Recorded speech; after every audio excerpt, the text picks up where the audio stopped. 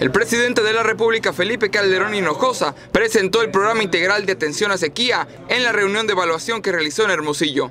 Calderón Hinojosa estuvo acompañado por el gobernador del estado, Guillermo Padres Elías, en un evento realizado en el hangar del gobierno del estado. El gobernador del estado inició el evento dando las gracias al presidente de la República por el apoyo realizado en Sonora. Se continuó con la presentación sobre los programas que realiza el gobierno del estado para llevar el agua a todos los rincones de Sonora.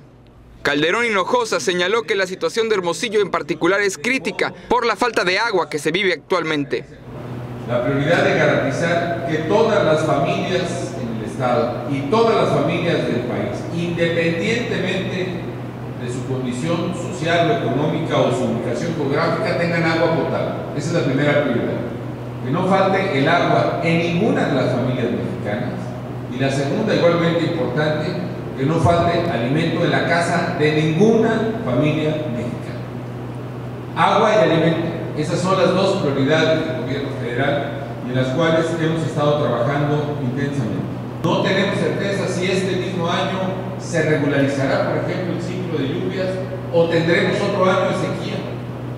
Y nadie puede asegurar, nadie puede afirmar que no haya sequía en el 13 o en el 14 o en el 15 lo cual sería catastrófico para la ciudad de Hermosillo si la sequía se prolonga y no existe una obra como la del acueducto de Independencia y la presa del Novillo. ¿Por qué?